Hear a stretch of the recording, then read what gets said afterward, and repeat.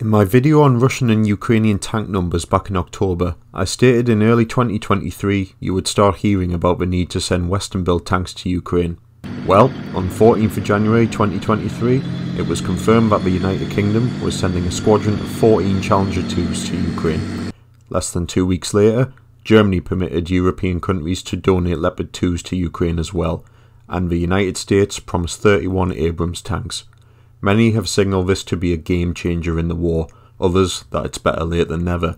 But what's the truth?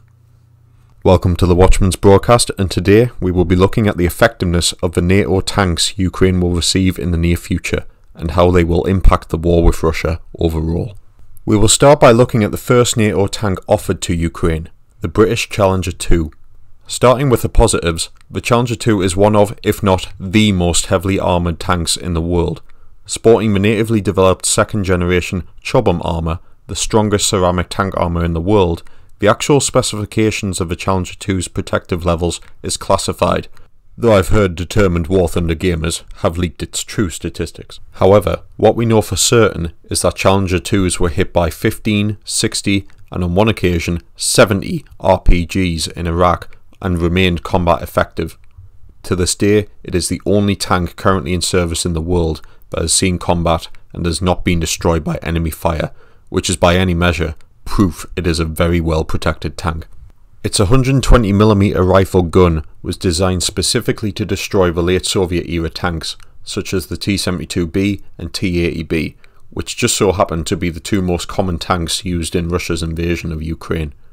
Though it is one of the slowest tanks in the world with a top speed of 35 miles per hour, it can travel 25 miles an hour across country and has good tactical manoeuvrability for its size. This is where the negatives come in for the Challenger 2 however, starting with its sheer size. Now, we do not know if the Ukrainians will receive the base variant of the Challenger 2 or one of its armour upgrade packages, but even at its base weight, it is a 65 ton tank and 72 tons with additional armour. This is a monstrous weight, and while the tank may be versatile for its size, it will certainly be a hindrance in Ukraine. Both sides in this war ceased major offensive operations in December due to the muddy season, or Rasputitsa, which makes the soil unsuitable for tanks and have been waiting for the ground to freeze in order to bear their weight for further operations. Even Russian tank crews, when applauding the new T-90Ms they have now been supplied with in notable numbers, did acknowledge it was a very heavy tank at 48 tons and easily churned up the ground, making it awkward to manoeuvre, and it is the heaviest tank currently in Ukraine. This indicates a 65 ton tank would be near impossible to move in these conditions. Not to mention, this would put considerable wear on the Challenger 2's engine, meaning it would need intensive maintenance, especially as the Challenger 2 has tended to have a satisfactory rather than good reputation for its engine throughout its life. As for the gun, though it will be effective against all T-72 variants, as even the B-3 has had almost no additional protection against anti-tank sabot projectiles, the later T-80BVM and the T-90M in a front-on engagement would likely be able to weather hits from the Challenger 2. Its Charm 3 AP FSDS round was state-of-the-art when it entered service in 1998, but there has been no effort to modernise the tank killing abilities of the Challenger 2 since it was first built. While still a decent round, it has been left behind and the latest Russian Sabots are superior, though the Challenger 2's armour will likely still give it the advantage. However, tank-on-tank -tank engagements in this war have taken a back seat compared to the role of being an assault gun in providing support for infantry. The Challenger 2, due to its rifle gun, fires HESH rounds rather than the standard high explosive. Though perfect for bunkers and urban strongpoints, due to its breach charge abilities, in open fields its blast radius is very limited, meaning the tanks Ukraine has are better suited for fire support missions. The biggest drawback of the gun, however, is the fact it's rifled. All other tanks in NATO, and indeed throughout much of the world, operate smoothbore guns. Consequently, no other shell in the world aside from those produced in Britain for the Challenger can be used in it. The British MOD is also believed to have stopped producing shells for the Challenger 2 in sufficient quantities since 2010, which was when the British Army left Iraq, and deemed tanks a low priority for modern warfare. History, it seems, has a sense of irony. Therefore, while it would certainly prevail against most tanks it would encounter, aside from being a good tank hunter and offering good crew survivability, the Challenger's drawbacks would equalise its benefits in other roles, and it is unlikely it can be kept running for a long period of time, especially as the Challenger 2 is no longer in production, and every tank lost could not be replaced. A tank that could rectify some of these deficiencies is the American M1 Abrams. Like the Challenger, the Abrams sports Chobham armour and is the only other tank in the world to possess it, and though it has suffered losses in Iraq to insurgents, the Abrams has seen more use and produced a good crew survivability record. Even the M1A1 Abrams with first generation Chobham is generally better protected than the T-80Us and T-90As operated by the Russians. The Abrams also possesses the L-44 M256 120mm smoothbore gun, which is essentially the standard tank gun of NATO, meaning ammunition is widely available and produced by numerous manufacturers from the USA to Europe, so resupply would be far less of a concern for Ukraine.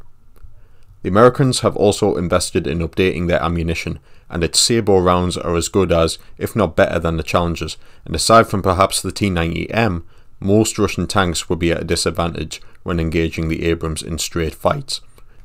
It can also fire HEAT rounds, which are better suited for infantry targets, though again, not quite as effective as HE frag the Ukrainians have on their own tanks.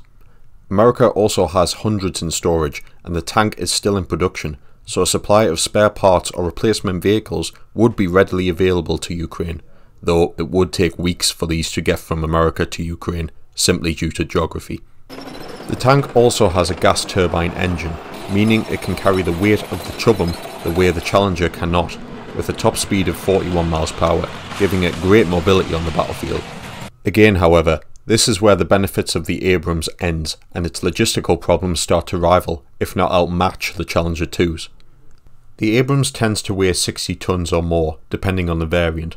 Though lighter than the Challenger, it is still notably heavier than anything in Ukraine, and thus still not really suited to the soft terrain. Its gas turbine engine also has more in common with a helicopter engine than a tank and requires more specialised maintenance when needing repair. Not something you want when it is stuck in the mud in minus 5 degrees. The Abrams has never fought out in the fields for weeks or months on end, where quick rudimental fixes are needed to keep it running, and first rate facilities and services have been denied to it. It also has a notable increase in fuel consumption, requiring over 100 gallons more fuel than the Challenger 2 to fill up, and nearly 200 gallons more than the T-72s and T-64s operated by Ukraine, or a roughly 50% increase per tank. Neither of these factors have ever been a problem for the Abrams as it has been operated by the United States Army, the most well-funded military force on the planet, and it has fought in wars against insurgents or the third-rate Iraqi army for little more than a few weeks in the field, in open deserts with full combined arms support from air power, ensuring no threat to the logistics train. Ukraine does not have that luxury. With destroyed bridges, dirt tracks, and ever present Russian artillery barrages, it cannot ensure such quantities of fuel would be able to reach the Abrams given the intensity of the conflict, especially in offensive operations. Thus, for all its technical superiority, I'm of the opinion it would quickly fall into disrepair in Ukraine as only American infrastructure could afford to maintain such a technologically advanced tank, and even then, this is assuming the Russians would be so obliging as to not directly attack this support network. Not to mention, the tank itself is not invulnerable, and while it will be better than most Russian tanks in most scenarios, as already discussed, tanks are not the main enemy of other tanks in this war. Over 100 Abrams tanks have been written off or outright destroyed in combat, mainly fighting insurgents equipped with reasonable RPGs and anti-tank guided missiles of late Soviet design. So the modern Russian ground forces would most certainly be able to do the same level of damage with their infantry anti-tank weapons, while also adding the occasional lucky artillery hit or patrolling helicopter gunship to that attrition rate, any Abrams force in Ukraine will inevitably suffer notable casualties I am of the belief that, like the German heavy panzers of World War II, Abrams tanks would prove superior to their adversaries in direct combat, but through lack of fuel and over engineering that requires extensive repair time, it would ultimately prove strategically a minor benefit to Ukraine. Now, it is for this reason I believe not only Ukrainians, but even the Americans desire this third NATO tank above all others to be sent to Ukraine, and that is the German Leopard 2. It is armed with the L44 Rheinmetall 120mm smoothbore gun, the same as the Abrams, meaning supplying ammunition is not a problem, and again, it can contend with all Russian tanks. The Leopard 2 also has a superior engine performance to the Challenger and the Abrams, able to travel at 44 miles per hour across the roads and comfortably over 30 miles an hour across country and in reverse as well, giving it an almost unparalleled mobility over anything in Ukraine. It is also a diesel engine and not significantly more complex to work on and uses the same amount of fuel as the Soviet era tanks operated by Ukraine. Though still heavy at 55 tons for the Leopard 2A4 variant, operated by the Poles and indeed most of Europe, it is lighter than most Western tanks and therefore the best suited for the changeable terrain and damaged road infrastructure of Ukraine. It is less well protected than the Abrams and the Challenger, though its composite armour is still superior against RPGs and anti-tank missiles than the armour on Russian tanks with the exception of maybe the T-80 BVM and the T-90M, and also easier to repair if damaged as the process is more conventional than Chobham. Against other tanks, its armour has the edge over Russian vehicles, but the Leopard 2A4 variant in particular, which is likely what Ukraine will receive as it is what Poland operates and is the most numerous, will be equally vulnerable to Russian tank fire. The later Leopard 2A6 and Leopard 2A7s would be a different story in frontal engagements however, and that has a more powerful gun that only the T90M would be able to effectively contend with. Regardless of the model though, the Leopard 2 would be the easiest to repair and maintain. Conveniently, unlike the Challenger or the Abrams, where new tanks must come from only these countries, some 18 countries have operated the Leopard 2, essentially making it the European tank, so replacement parts, and indeed vehicles, are in no short supply. Ultimately though, while the Leopard 2 is the best candidate for Ukraine, there is an inescapable problem it faces along with the Challenger 2 and the Abrams, and that is training the Ukrainians to operate them. Now, the Ukrainians are very capable of manning these tanks. They are now the most combat experienced tank force in Europe, but NATO tanks do not in any way resemble the Soviet derived vehicles they are familiar with. Training a good tank crew takes at least six months, and to familiarise the Ukrainians with new engines, new optics, electronics, comms, gears, etc., will take at least that time. Not to mention, NATO is supplying three different types of tank. As logistically problematic as these NATO tanks are to the Ukrainian ground forces logistical support, this is then heightened by the fact all have different parts, one has different ammo, and all have different fuel requirements. Forming these units into a unified tank force will be difficult, and in all honesty, I very much doubt the Ukrainians will be able to operate hundreds at a time, given the ad hoc nature of a dozen tanks in one delivery or 30 in the next, especially when casualties are taken into account. Though they are better than the Russian vehicles, they are not superior to the extent the German Tigers and Tiger IIs were in the Second World War over Allied tanks, and Germany made over 1,800 of them and still lost the war. I therefore do not think several dozen NATO main battle tanks will significantly influence the outcome of a war where over 2,000 tanks have been lost in a year-long conflict. If NATO truly wants to see its tanks make a difference, it must commit to a single model, deliver them by the hundreds in a single batch, and do it now. Something I cannot see on the political horizon, unlike the Russian offensive that is gaining momentum on the Zaporizhzhia front.